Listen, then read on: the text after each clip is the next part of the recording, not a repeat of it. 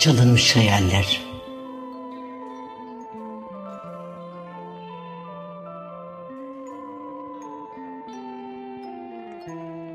En çok niye üzülüyorum biliyor musun? Bu aşkın bitişine değil de hayallerimi kaybedişime üzülüyorum. Ne güzeldi onlar. Belki birçoğu gerçekleşmeyeceklerdi. Ama işte hayal kurmak bile çok özel, çok güzeldi. Bir umutla inanmıştım olacağına. İnandırmıştın sen beni.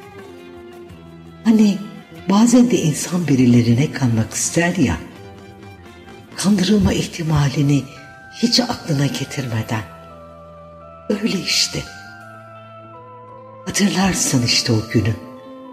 Bir sahil kenarındaydık. Gökyüzü efsanelerini bilir misin diye sormuştum. Sonra da bana o efsanelerden bir aşk hikayesini anlatırken ellerini ellerimin içine alıp gözlerimin ta içine bakıp sen de benim kraliçemsin demişti. İşte tam da o anda bir yıldız kaymıştı. Bak işte bizi duydular. Ve şimdi de bize bir işaret gönderdiler diye beraber gülüşürken. Hadi kapat bakalım şimdi gözlerini. Bir dilek tut ikimize dair. Derken sanmıştım ki artık benim de sonu mutlu biten bir hikayem olacak. Mitolojik aşkların o mistik gölgesinde ben seni efsanevi bir aşk ile sevmeye niyet etmişken sandım ki sen de beni öyle seveceksin. Ama öyle olmadı. Of. Of işte. O günkü yıldız nasıl gökyüzünden kaydıysa sen de benim hayatımdan hiç ummadığın bir anda bir yıldız gibi kaydın gittin. Şimdi söylesene hayallerimin hırsızı. Ben bundan sonra hangi hayale inanayım? Bütün hayallerimi gidişinle kaybederken söyle kalp hırsızım.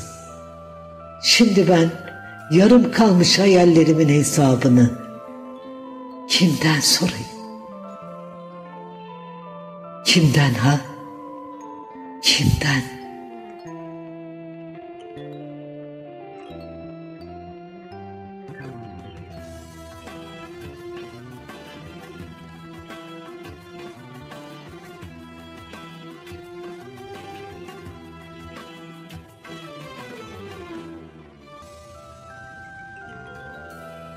Şiir Nevin Aktekin Gülfırat